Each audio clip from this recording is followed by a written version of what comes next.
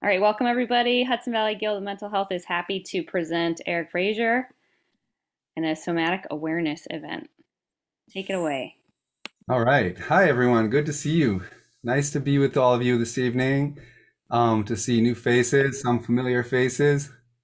And, um, you know, for me, a lot of, I really, I want to share my work with you. And I also really want a chance for, you know, for you to get to know me a little better as well.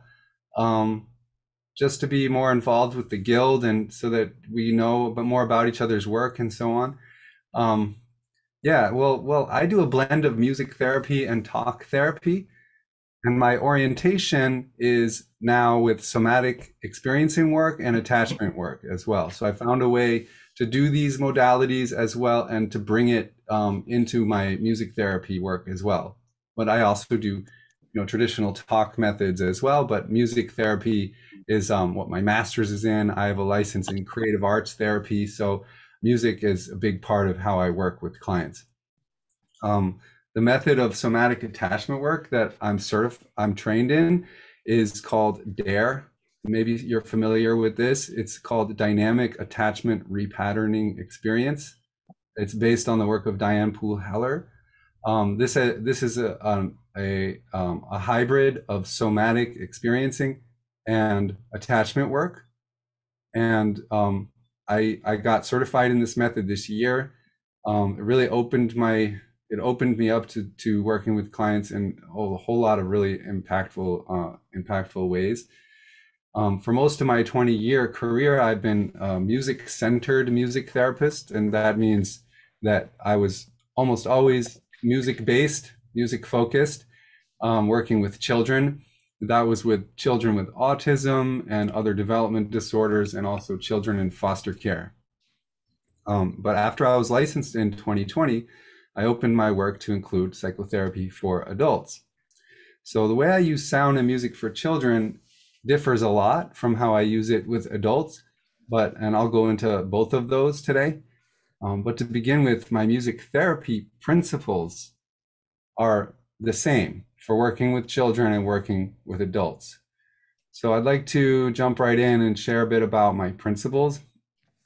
Um, my principle number one everyone can be in music and do musical activities. No one needs to be a musician. Musical activity is inherent to human nature.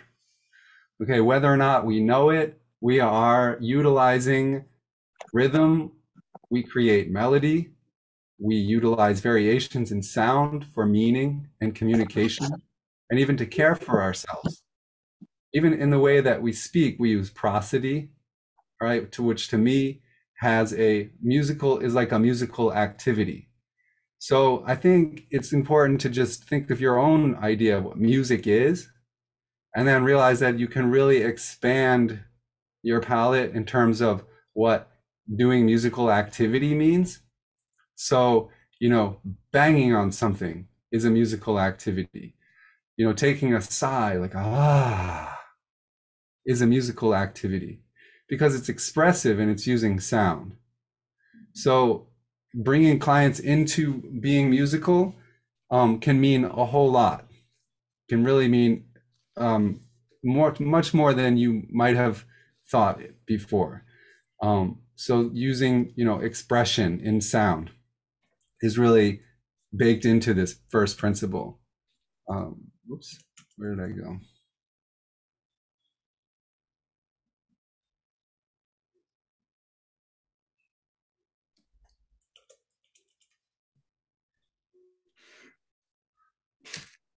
The myths, uh, the myths associated with this is that music is only for performance and aesthetic enjoyment.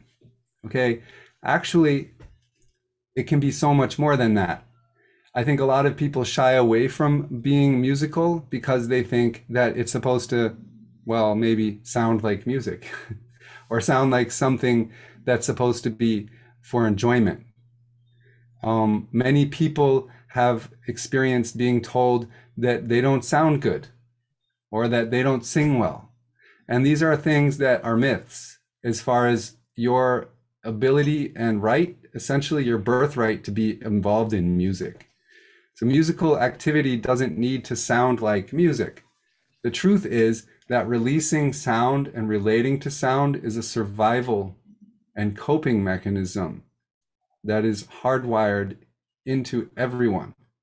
And in fact, after studying the psychology of music, I learned a lot um, about the, the orientation of language in human history and how prosody and communication developed. Okay, and language itself arose from a music, a musical part of our, of our, um, basically our, our basic human wiring. Um, so it's really interesting also how the musical part of our brain is really deeply seated and that even when there's significant cognitive decline as in like dementia or alzheimer's that the musical processing parts of the brain remain healthy and intact. So a lot of times we could work with people cognitive decline and once they get involved in singing or playing they really can come alive and they can relate again and they can also even remember lyrics to songs and things that that they enjoyed throughout their lives you know even when they don't really remember a lot of other things.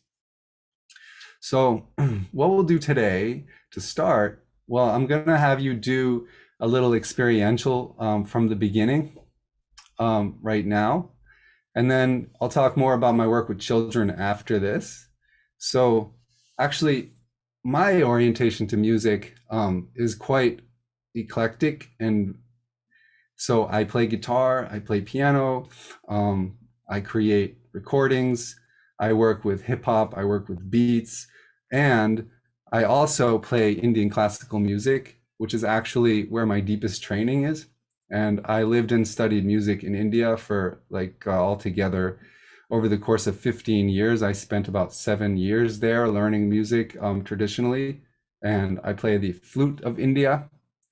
Um, and Indian music itself uh, has just really made made me um, be able to utilize the power of of tone and melody to give people a meditative and somatic experience in which they can start to you know it's a it's like a tool essentially to help people to connect to tone and even simple melody so the way we'll work today is i'll start with a simple flute meditation and then we'll do a little vocalizing okay and during that part you're welcome to leave i would the beginning part will leave your mics off and there will be an opportunity uh, later on for you to unmute yourself.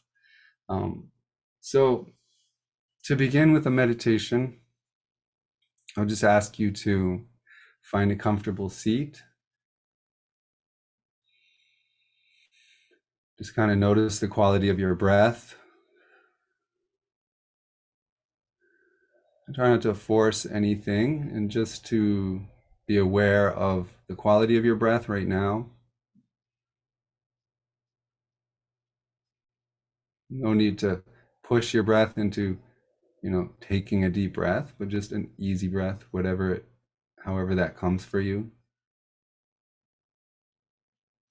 And just noticing how your seat is firmly planted where you are.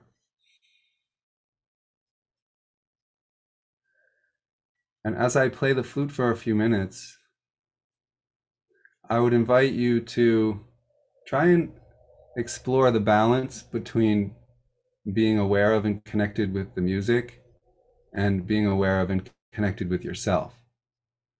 And if you find yourself being overly absorbed in the music, that's okay.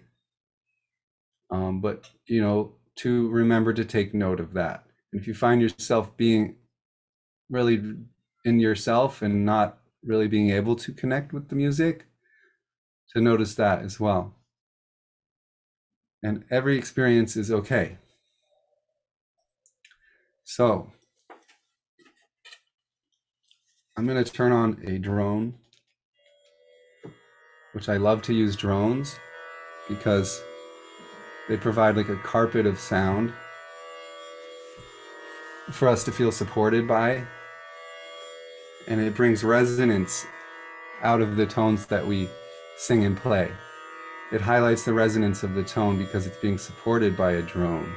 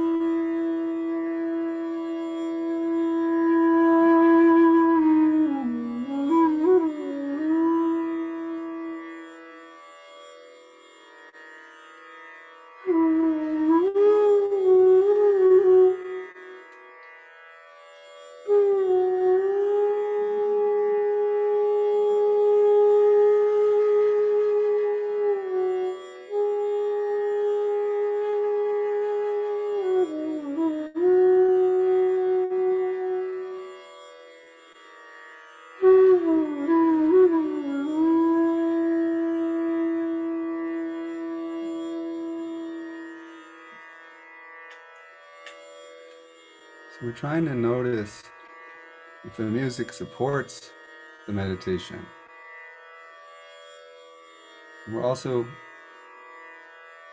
noticing if emotions can be spoken to, if emotions can be called upon in the here and now to create the possibility of having these emotions be in a supported and then worked through together with the therapist.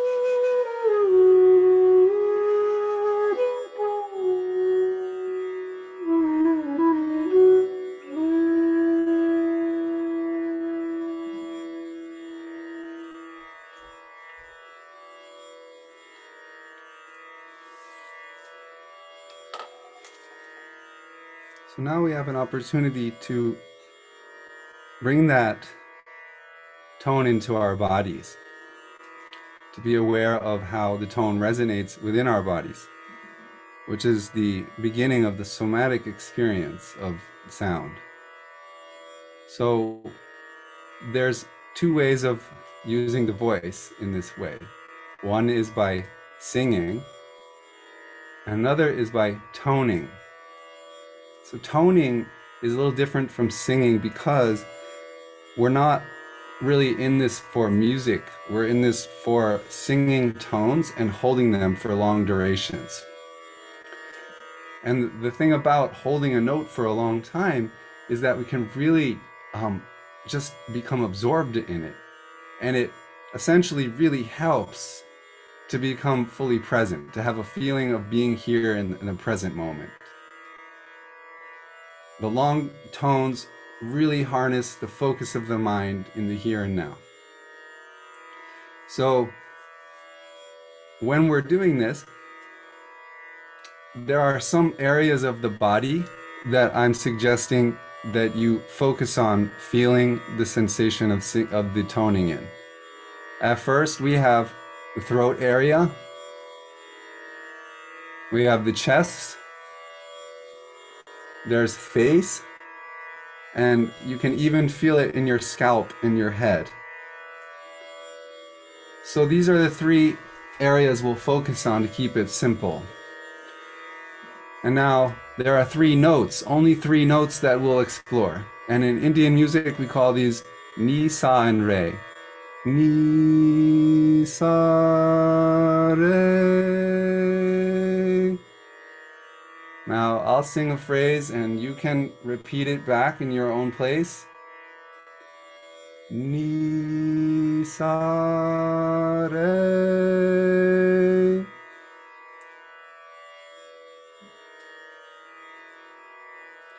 Ni re sa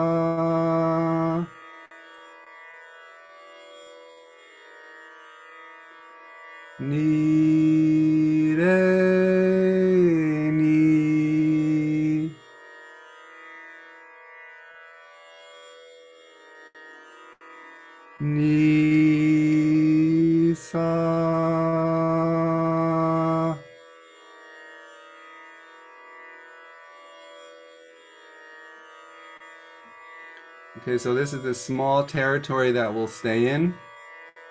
And we're going to use tones now with I and mm with the M. The I sound gives us the chance to go really feel those vibrations in the throat and the chest. And the mm sound gives us the chance to feel the vibrations in our face.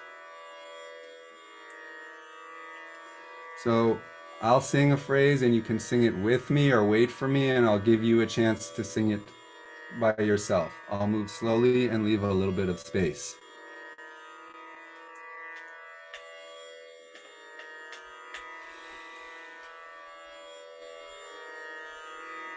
I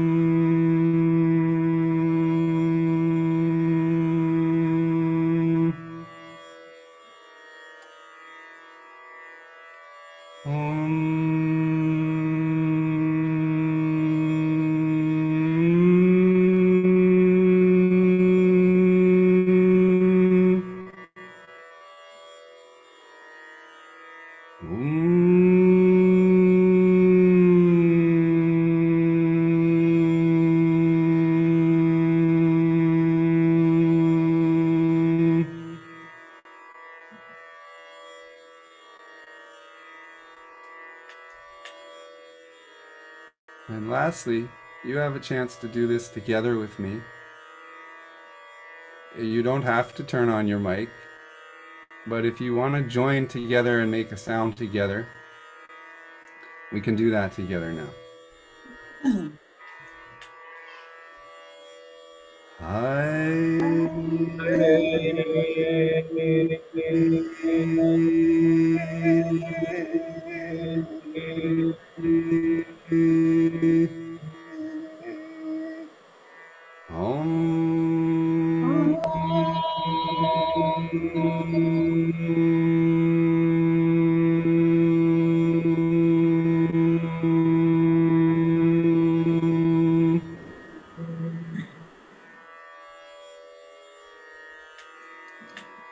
beautiful to hear your voices. And so you may have noticed that you have a different quality of breath after doing that. You may notice that while doing those tones, you were able to feel a little more into the subtle vibration and subtle sensations within your body. Okay, and this is a doorway. This is a doorway to asking our clients to feel something. And so, a lot of times, what I might do next is actually work on let's make whatever sound you feel like now. So we'll we'll get rid of these constraints and we'll just do whatever and really help the client to feel comfortable trying to make sounds that feel just feel like that's what they feel like making in other words. Could be growling snarling laughing. Could be so many different kinds of tones. So that's a really simple basic experience of using sound to develop somatic awareness. What's also really happening in this? Let's take a look. Um, we have respiratory changes while singing or toning. Because this con- continuously stable air pressure while using voice for toning will automatically create a deeper inhalation. So a lot of times our clients might, we might say, ask them to take a deep breath or try to help them to take a deep breath. And sometimes it's like, I don't want to take a deep breath, or I can't take a deep breath, or that's too much for me. And so it should be an easy breath. And how to help somebody to develop that easier breath? It should come automatically, a deeper breath. So, doing a little bit of toning or singing um, if a client doesn't want to do toning because it feels too abstract or it feels weird to them, you might just sing a song, even karaoke, something that allows them to do that kind of vocalization for a moment. Brings them a step closer to deepening the inhalation beginning to be able to drop into the body. And the somatic awareness part, we have opportunity because ripples of sound vibration, that the voice inside the body is creating vibration.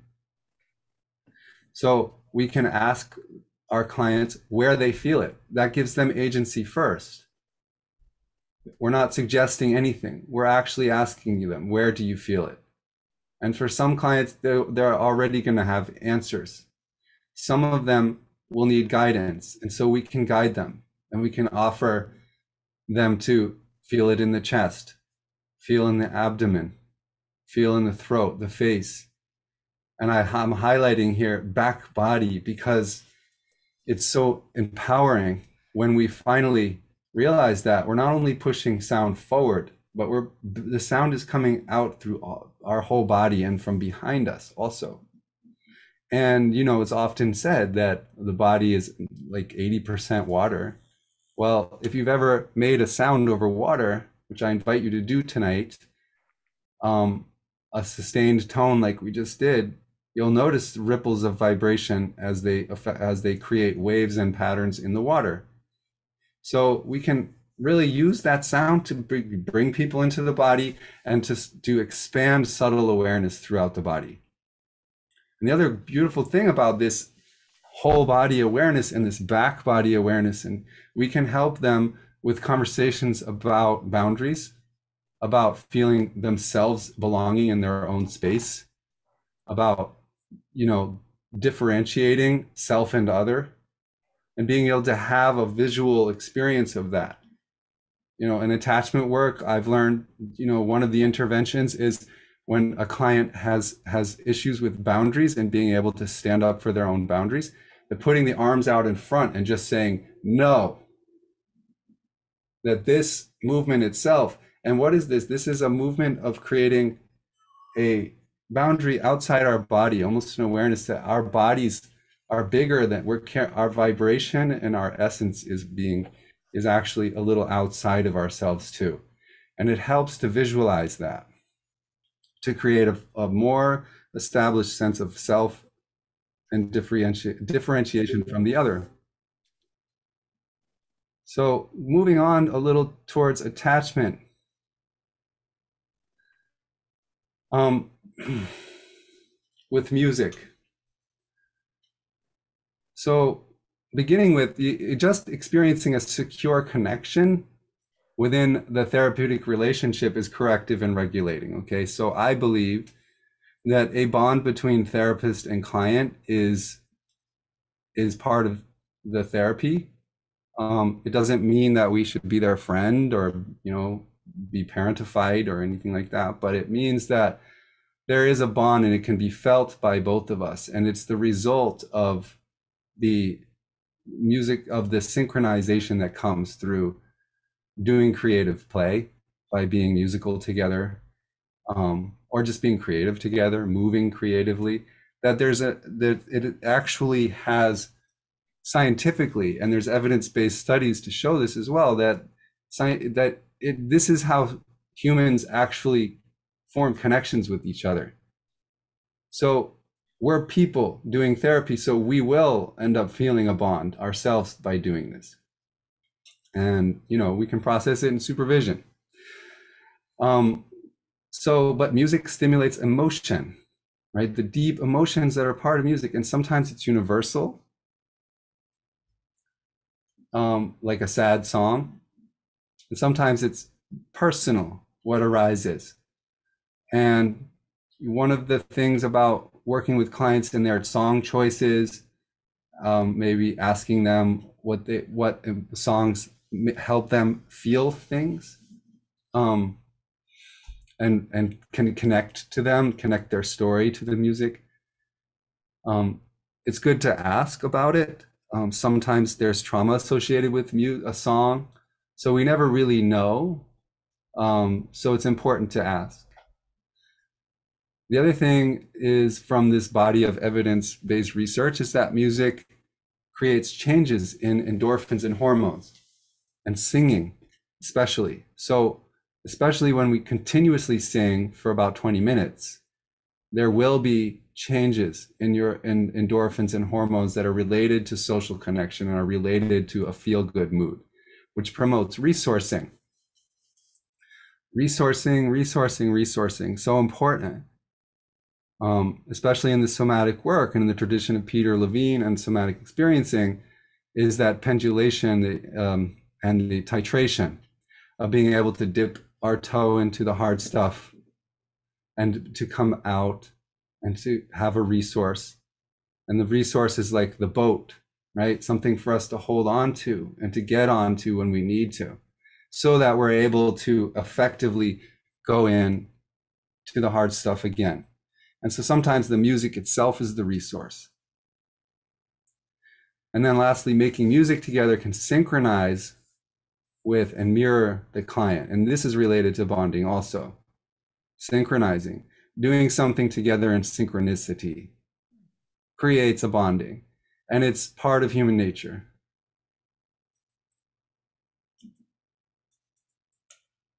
How did I get back there? Sorry, I'm struggling a little bit with the um, PowerPoint uh, flow here, but let's see. Self other balancing. Okay, so we're moving a little further into the attachment stuff. Um, a good relationship, a healthy connection, a secure relationship involves a balance of the self with the other. And so music making provides the opportunity for to help bring awareness to the client about patterns of relating um, and to provide alternate experiences so examples of relating in music. So playing together. Um, remember you people don't have to be a musician right? Most everyone can go you know even play a little beat on a table and do this with me right? I don't have to be somebody super trained to do this. Or like tap and foot and clap and foot and clap and foot and clap and and foot and clap and gap. Clap foot and clap. And i'm just playing around with this. And then looking at how a client a child or adult might face or turn away, might overplay or underplay, um, becoming too loud, becoming too soft, conservative or explorational. This is a really um, big one a lot of times. Um, when I notice, you know, kids improvising with me on the piano, for example, and really only just sticking around like two or three notes. And then there's other kids who are just going all over the keyboard up and down, um, explorational.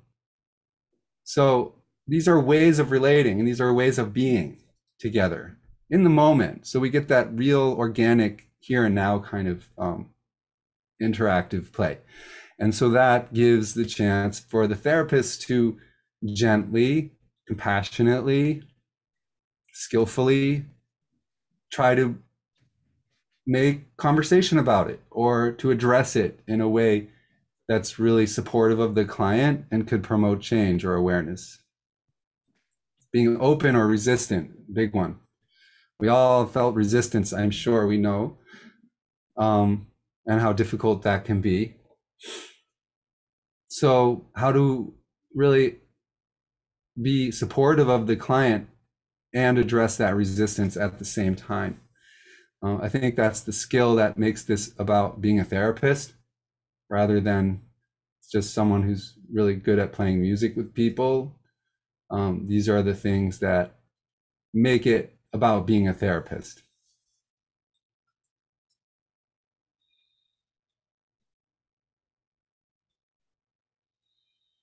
Phrases for attachment types.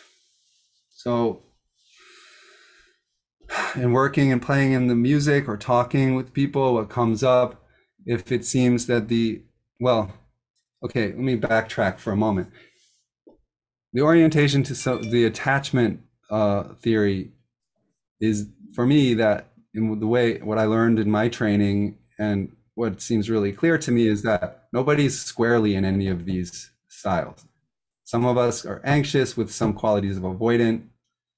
Um, it's somewhat, it's too simple to think that every person falls in one and one only. But um,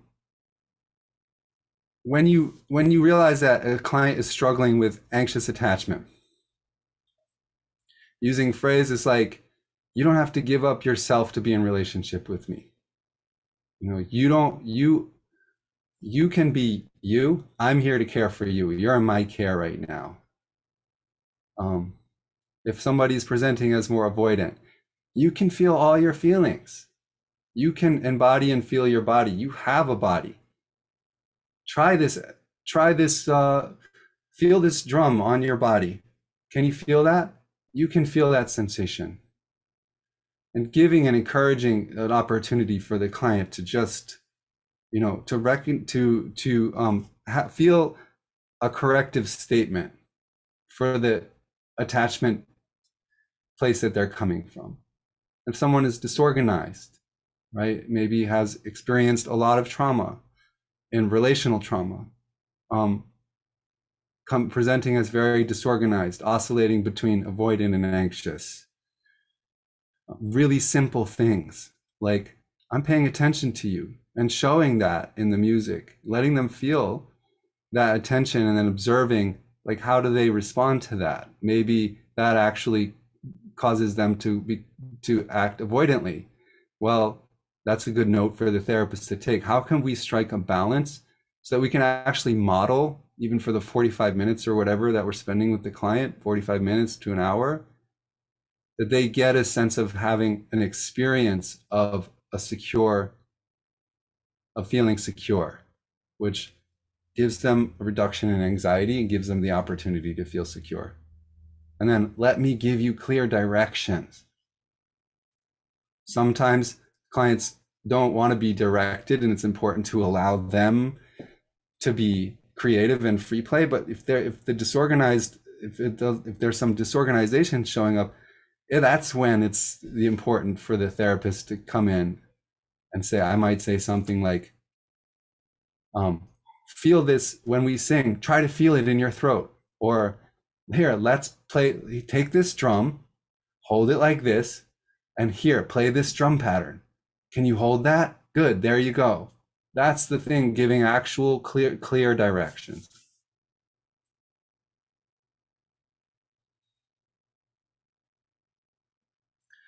All right, so uh, I'm going to jump into talking about working with children now. Um, ritual and review as secure attachment. So this is, you know, from the attachment perspective, um, creating that structure is key. And yes, it's really as simple as just the kid knows what they're coming, what's going to happen, and that helps them to relax. So all the creativity and all the improv, improv, improvising and so on can happen in the session. But to begin the session, a hello song, simple and familiar, and I use it every time. And I can make changes for special occasions, like I might jazz it up for Christmas or a birthday or something. Um, but then in the session, recreating. So if we have themes from during a session that arise, that it's my work to to try and remember them. And if I can't record a session, I really have to, you know, try to remember that and maybe put it on my voice memo after the session so that I can intentionally bring it back during the next session. A good example, I have a client, a, a child with autism. I'm gonna grab my hand drum over here. We had a song that arose um, that gave us so much opportunity to work on many of her issues, including perseveration um, and hand flapping and all the things that that she's coming into the session with. Um, and it was just a thing, a little thing that just started happening between us, where it's like, drums are for playing and drums are safe. Drums are for playing every day. Let's all play the drum and we can have some fun. Drums are for playing every day. And doing this and doing this, she's really repeating me, staying in the rhythm. I see her body getting organized by repetition. All right, in the next session, I brought it back. And this time, instead of having her hold one, uh, instead of letting, well, next session, I came back and I encouraged her to get both of her hands involved in the playing. Because usually one hand is doing this. Okay, so this time I said, drums are for playing with two hands. Drums are for playing every day. And we, we got her focusing on using two hands. And then the, the uh, perseverative energy goes to her legs um, she starts jumping uncontrollably. But she's not doing this anymore. Okay, so then using the rhythm, I stand up and I start modeling, you know, moving, bouncing to the rhythm without jumping too much and keeping the whole body engaged in the rhythmic activity. And, you know, for her, only for her, that 20 minutes of regulation was i'm sure it was quite um it felt great to have that kind of full somatic experience full body regulation. And you know it carries outside of the session for some time um but you know it doesn't stick you know she doesn't leave the session and then she's regulated you know she comes back and she does the session and she's not regulated all week because of it, but it's something, at least for some time during the session. And lastly, reviewing. So I love to review the session within the goodbye song to ask, what did we do today? And then we sing back everything we did. All right, and I'm going to share a little video with you of of the that uh, the child I was just telling you about. I'm going to share a video um, there we go. And this is totally HIPAA compliant because the agency posted it to Facebook, so they had all of the permissions. It's just 11 seconds, but you can, I think you can see us here. That's me. That's her, both wearing our masks. This was only a few weeks ago. All right, here's a little clip from the goodbye song.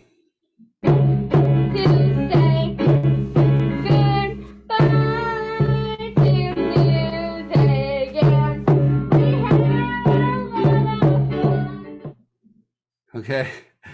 So the musicking is a verb that we like to use in in, uh, in music therapy in the music center. Whoops, let me turn that off. It automatically went to another video. Um, musicking, musicking, eating, singing, drinking, sleeping, musicking. It's just an action. It's just a way of being. Other ways of working with children. Um, a little from a case study. So uh, a, a, child I'll call Tommy, a four-year-old, um, born, born, extremely prematurely. Um, so really big difficulties with somatic and pragmatic, I mean, sorry, pragmatic communication.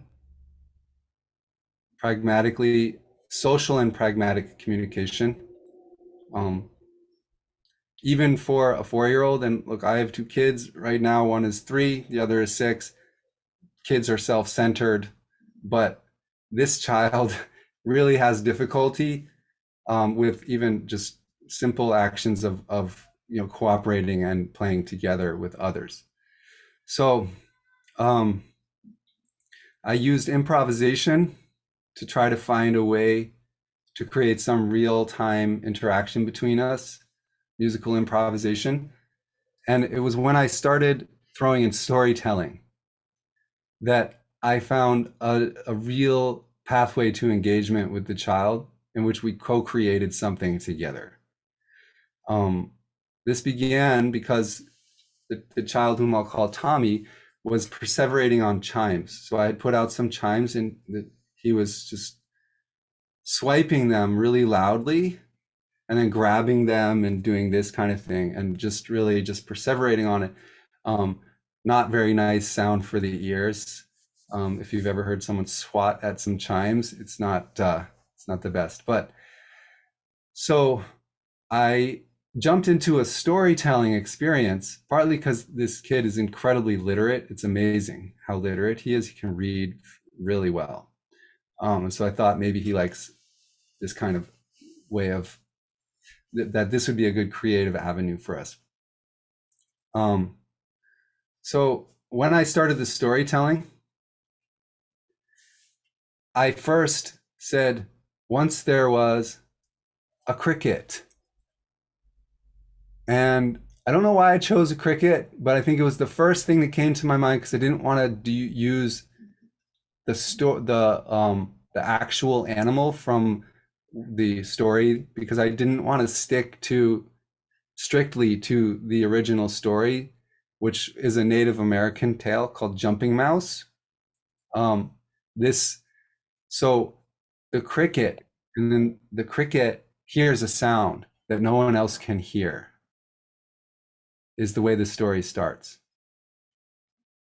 The cricket hears a sound that no one else can hear, which already touches in on that Tommy experiences the world differently already. He's sensitivity to sound, he has sensitivity to light, he has sensitivity to so many things.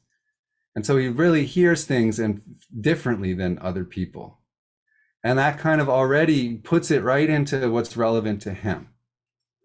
Um, once there was a cricket, and then I handed him the chimes again, and I said, The sound the cricket hears is far away and soft. Let's make that sound on the chime. And that's when he started doing it extremely mindfully and delicately. And I said, the cricket needs an instrument. Let's try the cabasa. And I handed him the, the scraping Latin thing where you scrape and it sounds like.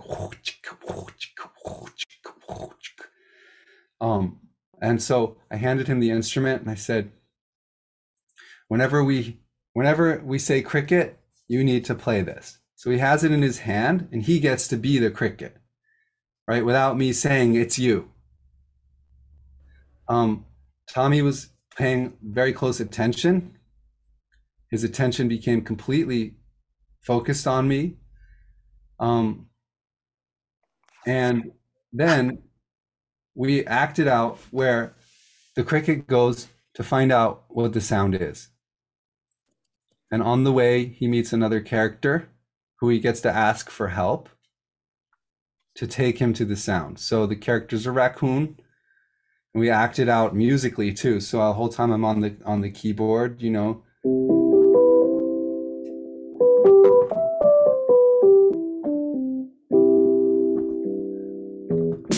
kind of trying to make this um, fantasy world. And we get a ride on the raccoon with the cricket and we go to find where that sound source is. And it turns out it's a river. Well, what happens? The cricket is so excited that he falls into the water. All right, so once again, Cricket needs to ask for help. And this time Raccoon reaches in and pulls Cricket out. And then we had the opportunity to address the fact that, well, just like Tommy in real life, Cricket is now not aware of his body in space and is knocking things over and bumping into everything because he's too wet. And he has to shake all that water off of his wings. And so we had Tommy come and act out, shaking water, okay, finding the the wet the back body, and then shaking it off the water, so that he could find his body and move more in space. And so we we worked on this together. Um, he also needed he also met birds and other animals as we continued the story. We had more opportunities for him to need to use his body to accomplish certain things. For example, he got a chance to help a, a buffalo who needed water. So this time he gets to be the helper. The buffalo needs help, and he gets to go and bring the water, but he has to carry it over his head like this. And we practice this together because when I ask him, Tommy, raise your hands up and hold the bucket of water. Well, his way of doing that is kind of like this. He can't connect to this movement, but we work on it and then we bring rhythm into it. So we kind of do a little stomping dance around the drum. And on the fourth, on the one, on the first beat of every cycle, we're going to raise our arms up straight. And so he was working through this body and space. Um, so there's more, a lot more to Tommy and his progress. Um, but I want to. I want to keep moving so I could cover the last few things before we talk a little bit.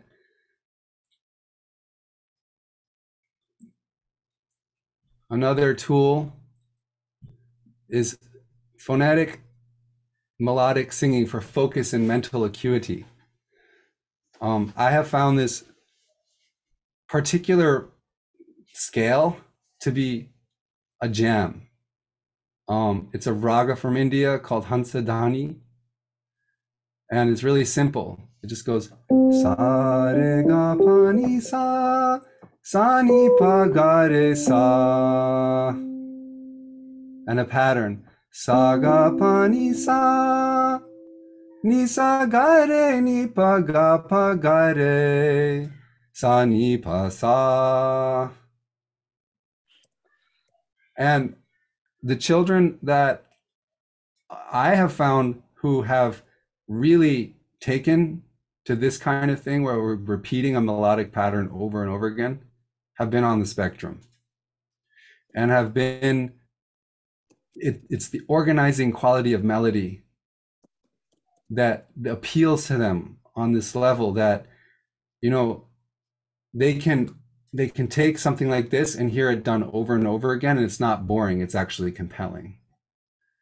Um, and then it really focuses the mind. It brings all of this um, attention deficit spread all over the place and harnesses it in one place and allows that channel to open.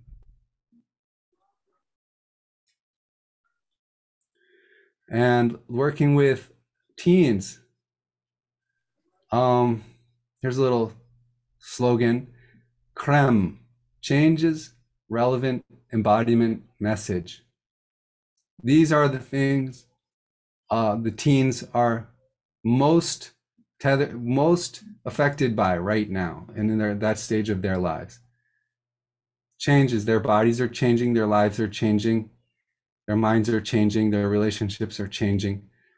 Um, they need things which are relevant.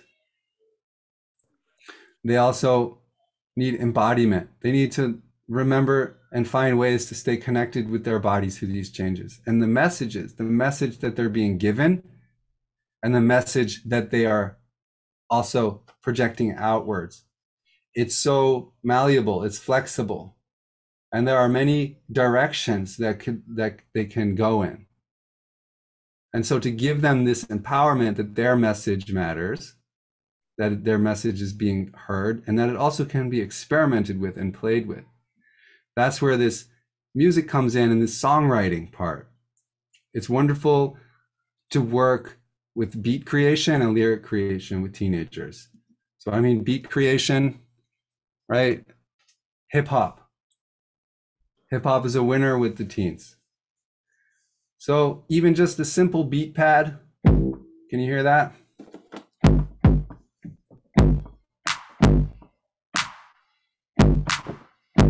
Okay, I'm just, yeah, there you go.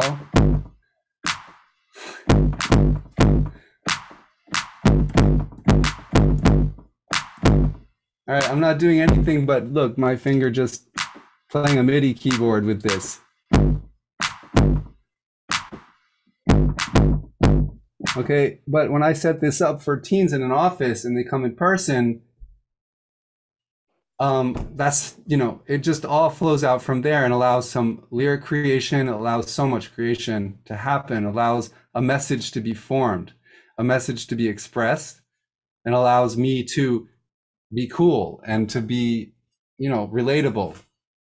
Um notice i'm laughing yes. I like being cool for for the kids. I like when they think i'm cool. It really helps in the therapy session.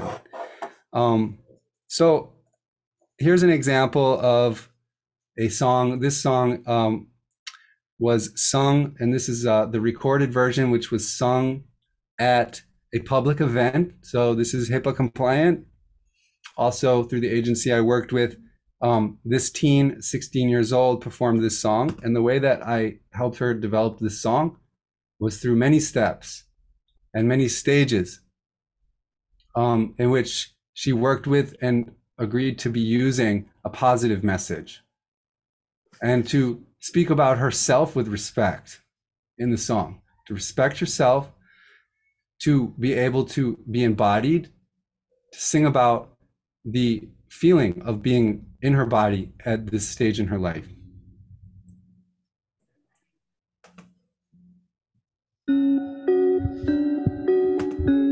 Yeah.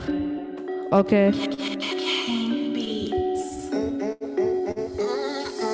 You are the stars that paved the world. It can start from young, a boy or girl. I inspire you so you can be brave. Y'all can look at me as a light in the cave. Every child is special with the joy they bring. Never be scared, just let your voice sing. Say your books, yes, please wonder. Y'all could be the rain, I could be the thunder. On everybody here, give y'all my dedication. Stay school, stay smart, get your education. Yeah. Okay.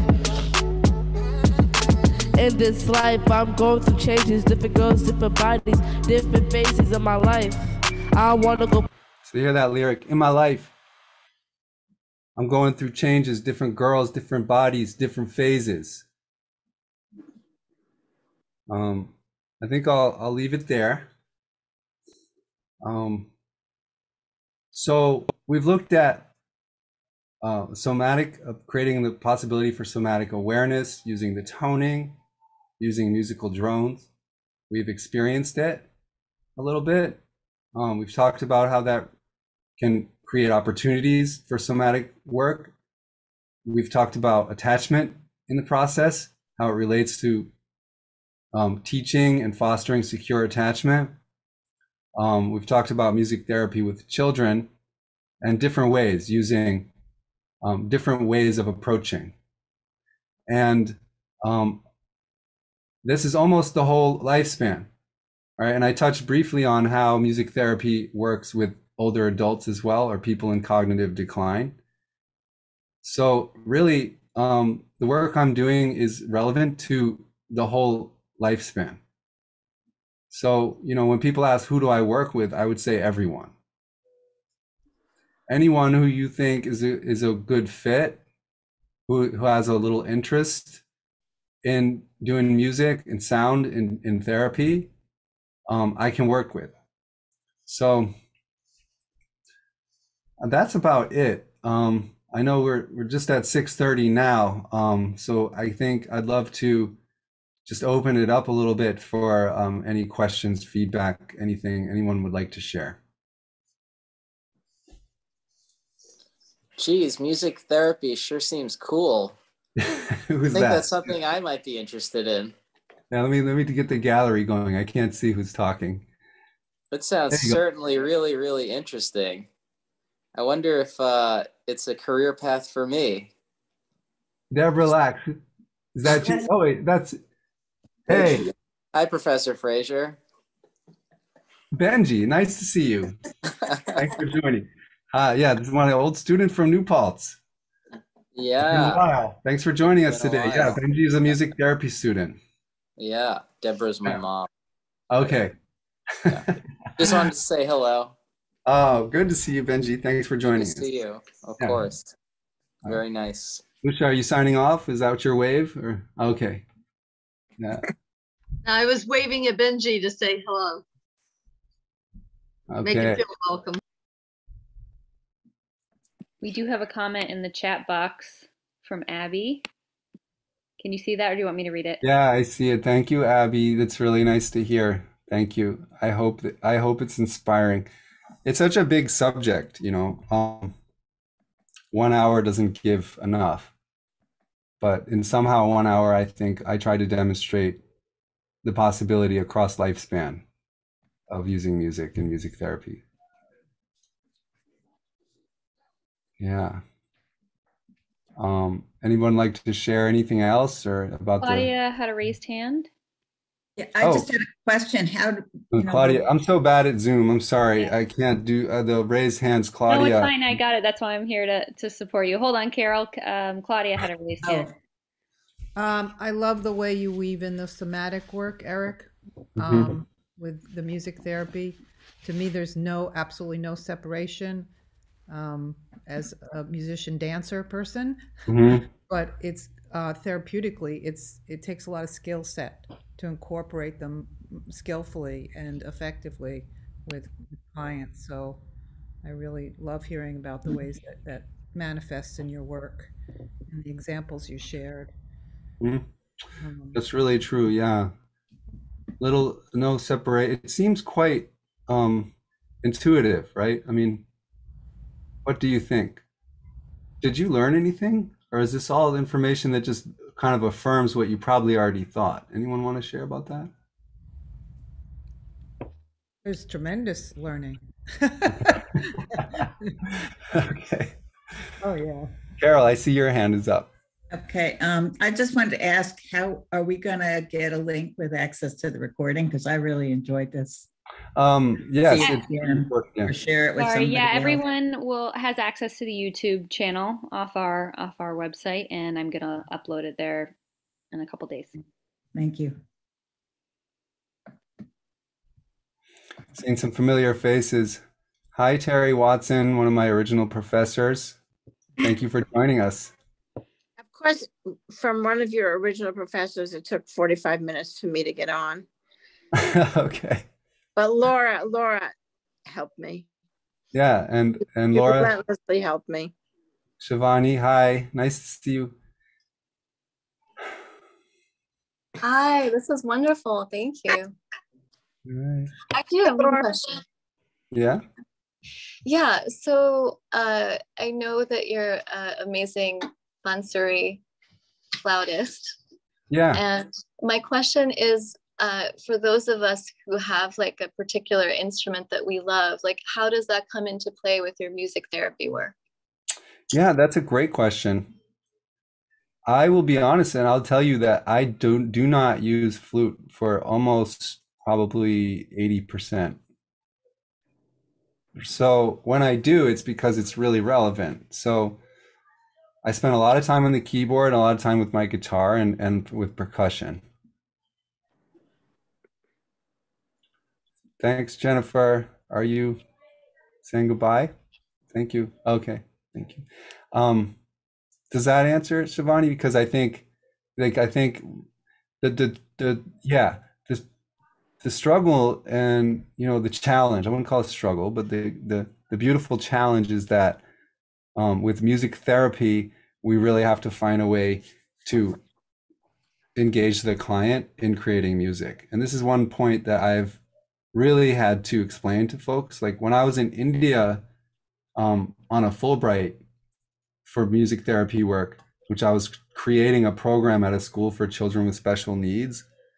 Um, everyone thought they knew what music therapy is. Music therapy is a big word in India, but it, it means to them that you lie there and get played for.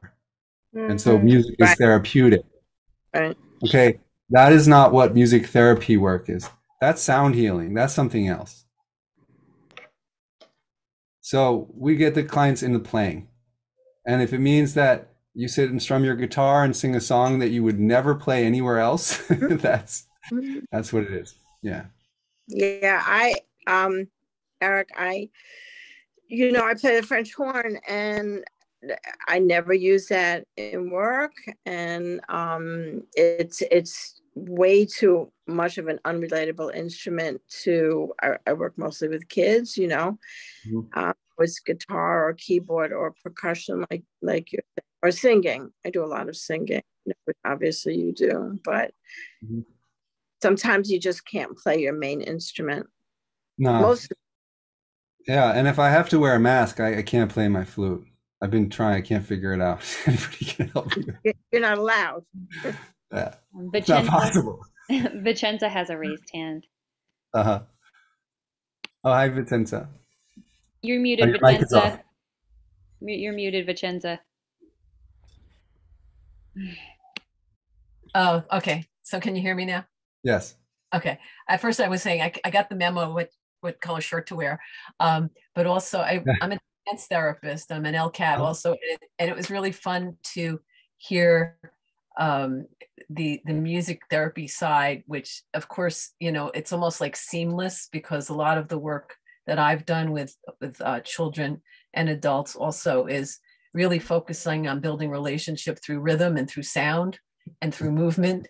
And so it's it's kind of just hearing it from a different initiation point to get to the same place. Yeah. Um but it's it really like you, you know how you started with the breath is often how you know how i start with people mm-hmm. i start mm-hmm. more with the breath with adults than with children with children sometimes it's easier exactly. to go right right to sound and yeah. and sound and movement together like you were talking about with the arms up and you know doing something mm-hmm. like that and making a sound and then yeah once you've broken that barrier where we can be silly and make sounds mm-hmm. it's sort of you can go, go anywhere from there really well, be the children body. yeah I, I really hear i mean first of all right movement and dance is musicking in my opinion it's, it's part. Of, it's part of being musical and secondly yeah. children right yeah children don't do the meditation thing in the same way so actually children do everything through play so if you can find a way to play them into it mm-hmm. um absolutely yeah. and and the ritual piece also is something we did a lot dance therapy um sort of start in the same formation or do something that they recognize and you know when we do it again it's like a ritual for the beginning and for the end and and so that structural piece also is very familiar mm-hmm. Thank great, you. Thank you. Yeah, thank you. Glad to hear about your work. That's great. I saw Mr. Festa had his hands up. Hey there, Eric. Hi. Yeah, it's just very nice uh, to see the work that you do and, you know, playing out in real time in this time where we're not really seeing a lot of each other's uh, these days. So it's, um, yeah, it's really nice. The, the bridge between getting out of our heads and into actually physically collaborating with each other as you do with your clients regardless of age mm-hmm. is um is just a really nice bridge that that yeah i'm really grateful to see you know your work that you are doing and uh so thank you oh you're welcome thanks for being here and you know i feel it's good to be seen in the process Yeah, and this You- has given me all yeah. kinds of great ideas to implement in what we, we do over here. So Yeah. Well, we'll, we'll talk soon. yeah, that sounds great. Thank you. Lucia, were you wanting to share? Yeah, it's it's Lucia.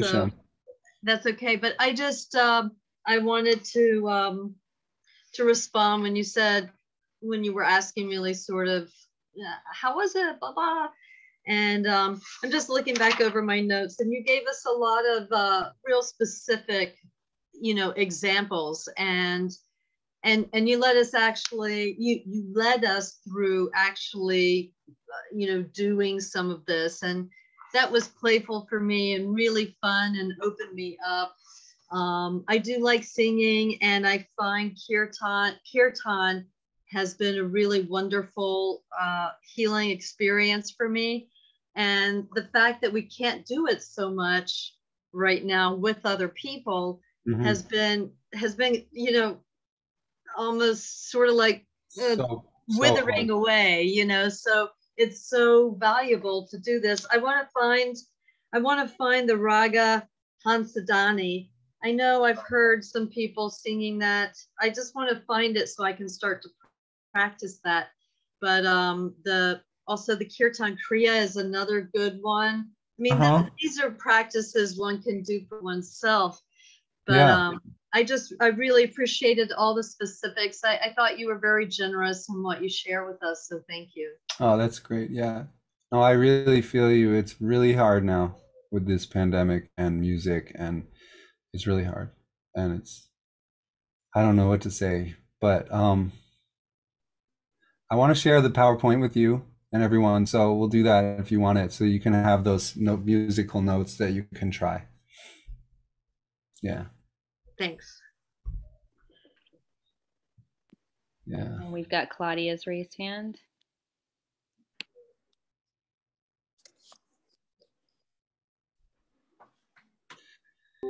Unmute. Okay. So I was wondering, Eric, um, how much work you do on Zoom and how you deal with um, the audio challenges.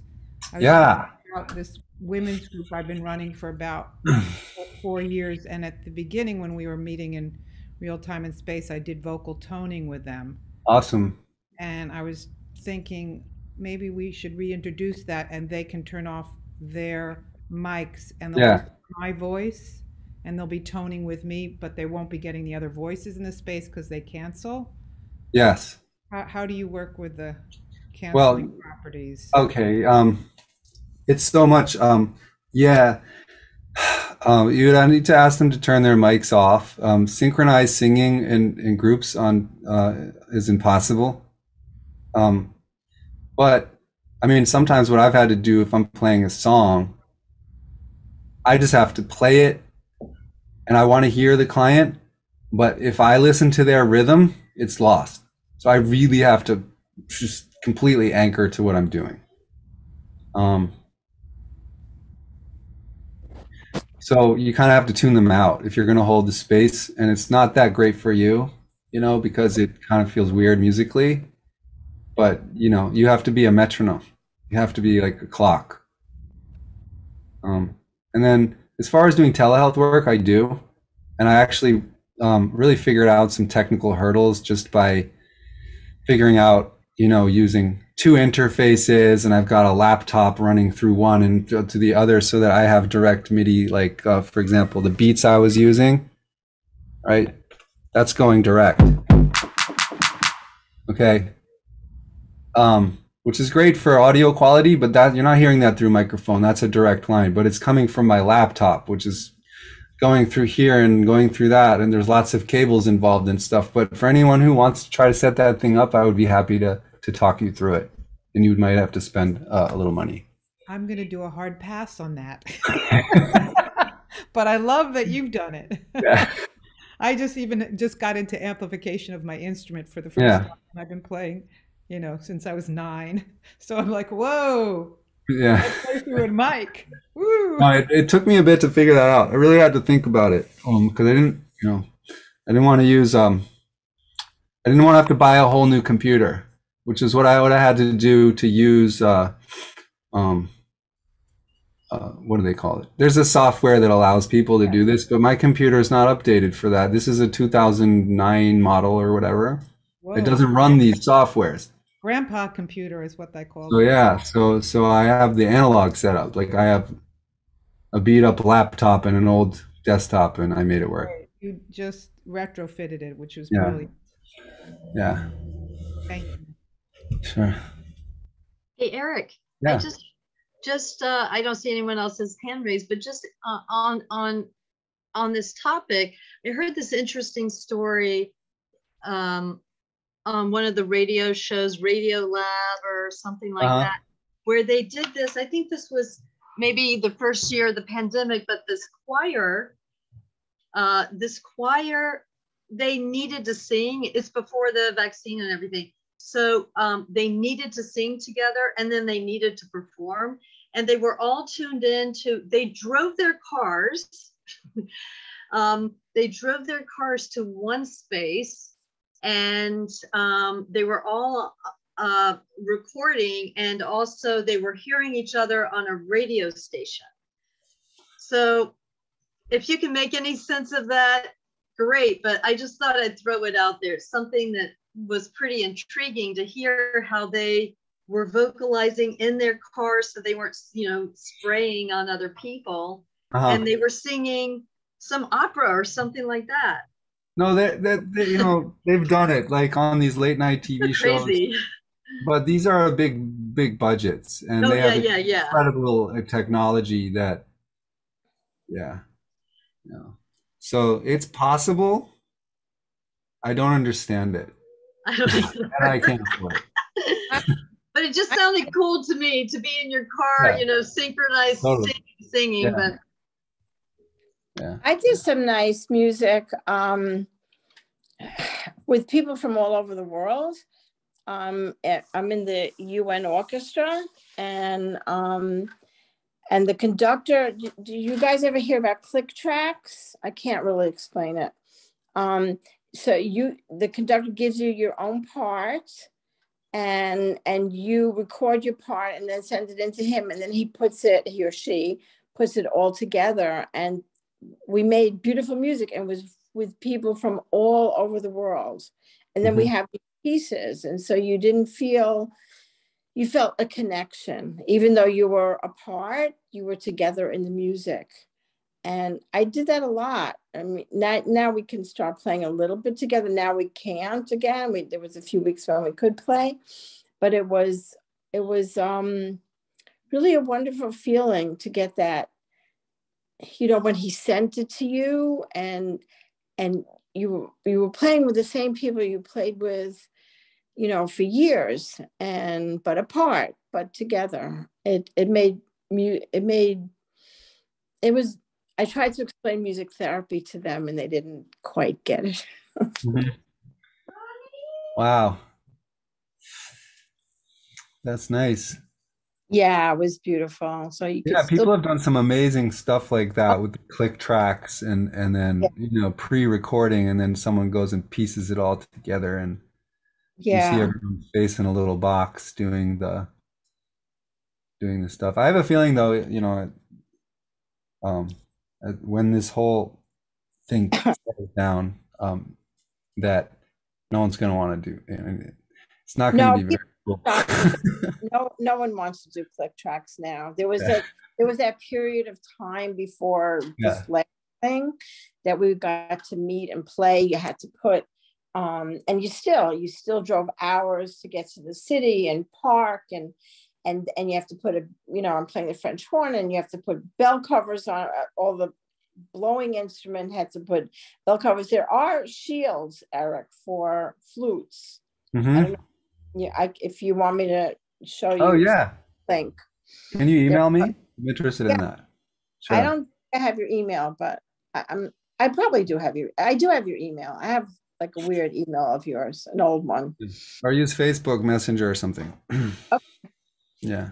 There are shields, so the flute players were playing, and so there was that few weeks you were together, and it was amazing. And then then it stopped. You know, allowed to play anymore and together. Um, and no one, nobody wants to do click tracks. Mm-hmm. we're tired of it. Absolutely. Ah. So in the goodbye song that I do, there's a phrase, and I turn it around um, in the middle, so it starts like this. It's time to say. Oh, let me turn off the MIDI here. It's time to say a goodbye to music. We've had so much fun. And then here's where we say all the things we did, right? Like we sang my favorite song, whatever that may be. All right, and we jumped all around. And then the hook. I wish I could stay all day and play, but it's time to say goodbye, yeah.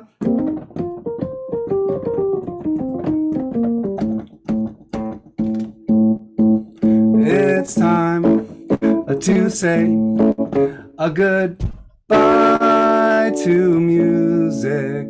Goodbye, everyone. I'll see you next time.